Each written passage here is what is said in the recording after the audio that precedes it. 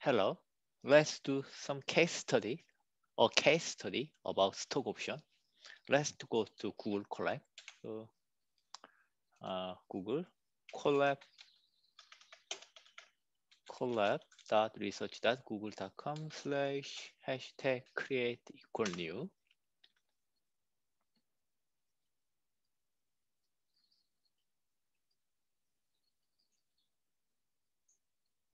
And then file name is stock option um, case study class. Okay. And then let's import uh, usual modules and libraries.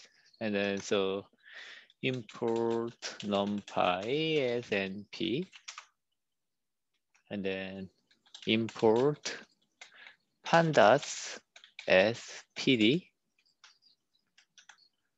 Next, uh, SciPy from SciPy import optimize. We need optimize.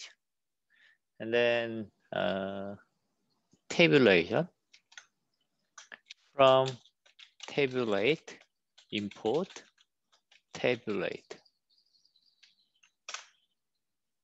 Good. Next, let's determine the stock price. Stock price, let's say stock price is one. So it's like normalized stock price. So it is normalized. So once we calculate stock option value, the value is basically a percentage of stock price. So if our stock option price is 0.5, it means uh, stock option price is 50% of stock price, current stock price. Normalized current stock price. And then dividend yield annual dividend yield. Let's say dividend yield is simply zero. So this, oh, so this is annualized dividend yield. Next, uh, sigma, the most important volatility. Sigma. Volatility is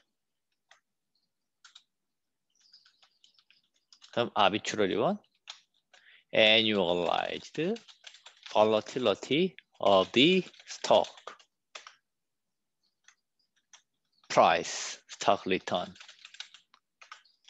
Okay, and then strike price. Strike price equal, let's say it is one. So it is strike price and indeed, in many cases, in many cases, stock options, strike price is basically same too. In many cases, uh, strike price the same to stock price. So in this case, without loss of generality, I set it one.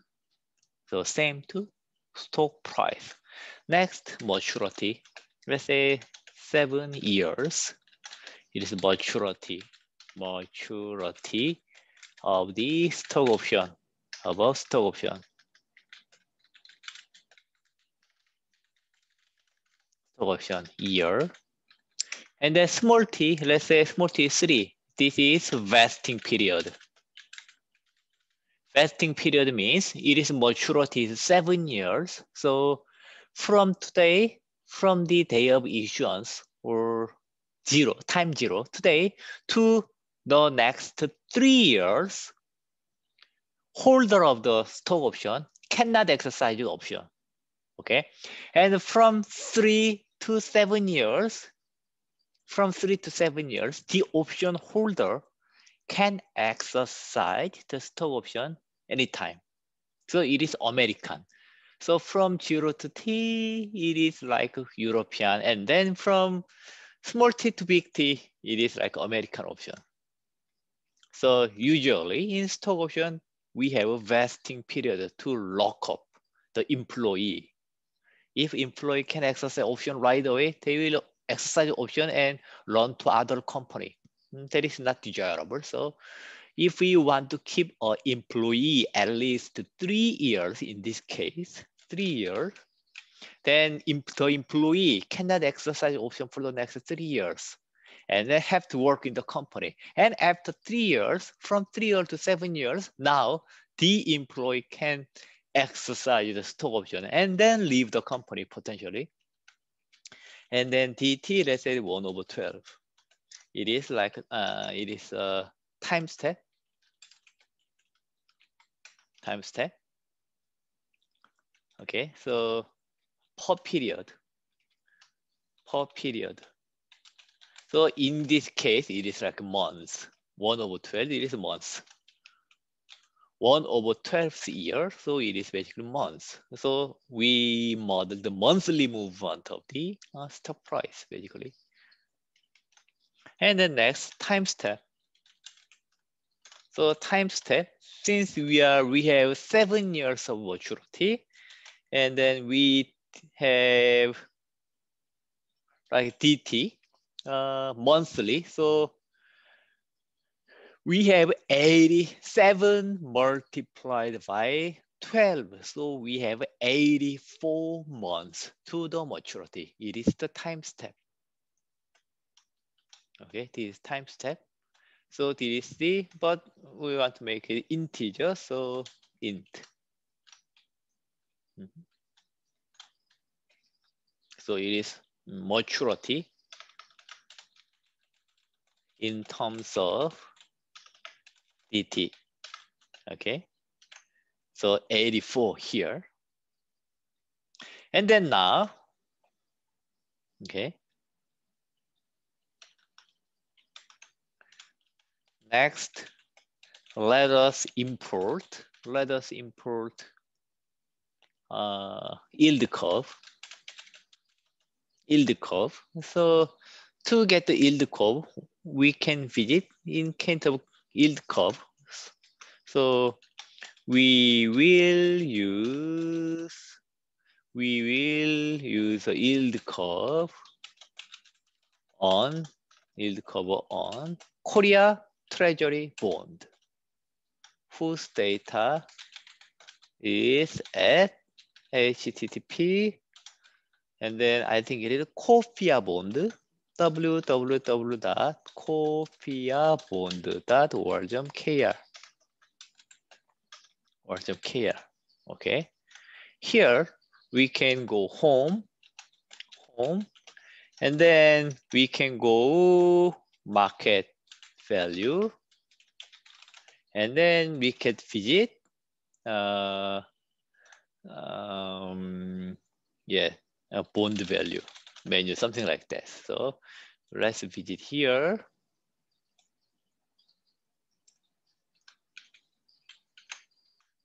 Okay, KOFIA bond. So here, so we have a market value, this one. So the most least one is this one. Let's have it. So we have up to seven years.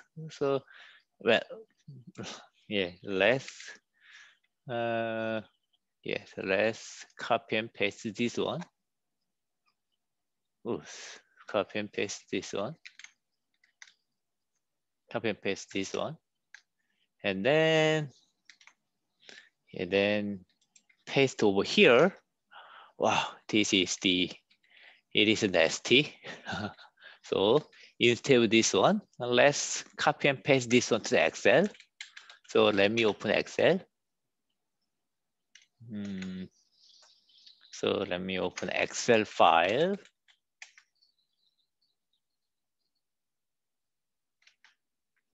And then, okay, let me share the Excel file now. Let me share the Excel file. Okay, we are sharing the Excel file. And then, yeah, I just pasted the data. And then I copy, I copy, and then uh, transport, transpose, okay, transport. And then three months is basically 0 0.25 year. Six months is 0 0.5. Nine months is 0 0.75.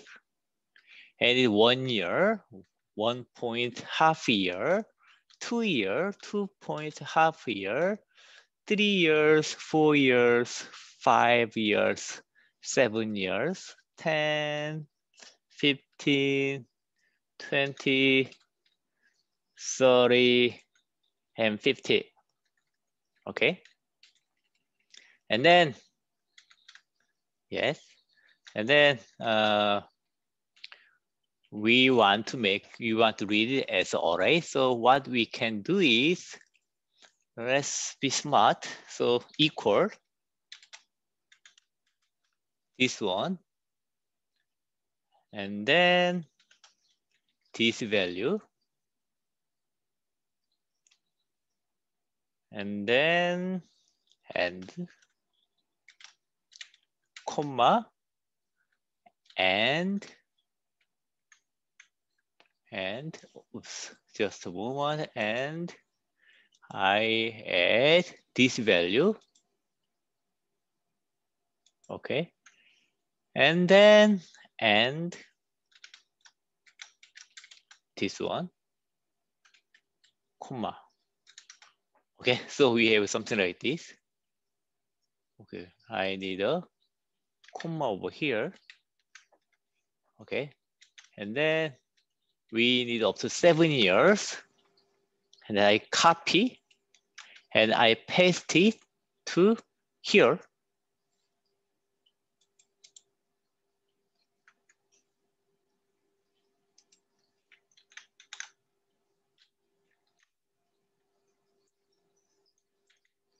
I paste it.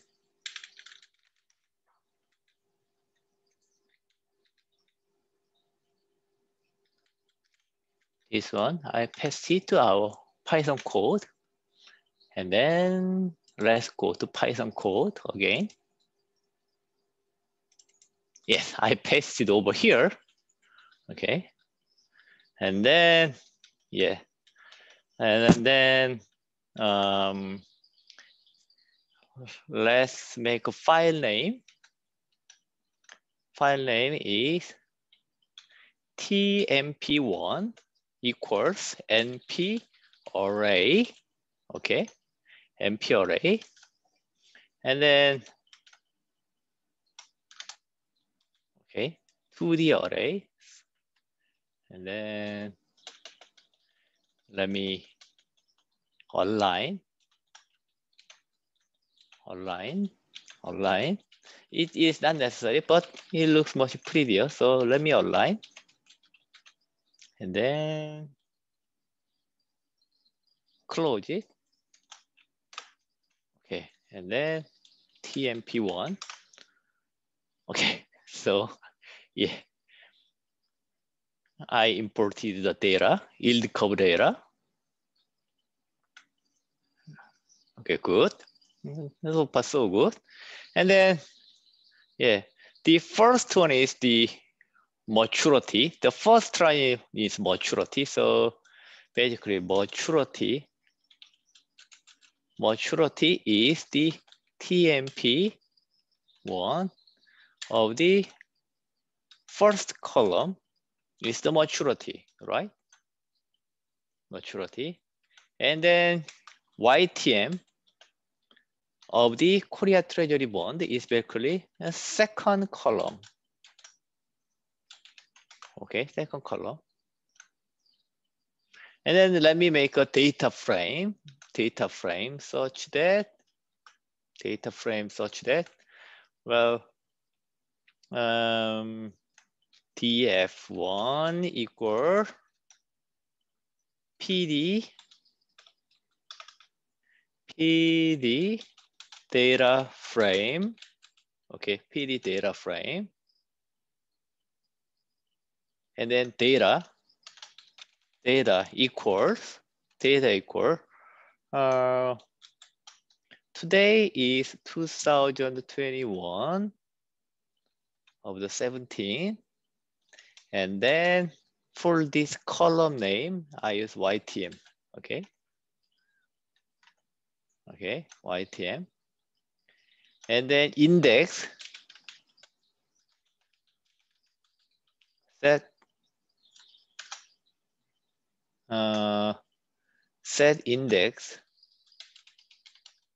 is maturity, is index. And then let me print df1 so that let me check whether I properly made it pandas data frame. So, well, it looks fine. Oh, by the way, it is like a percent, so I have to divide it by 100. So we have YTM here. Let me divide, multiply this one by 0 0.11. So, and then do it again. Okay, then, yeah, it works, it is fine.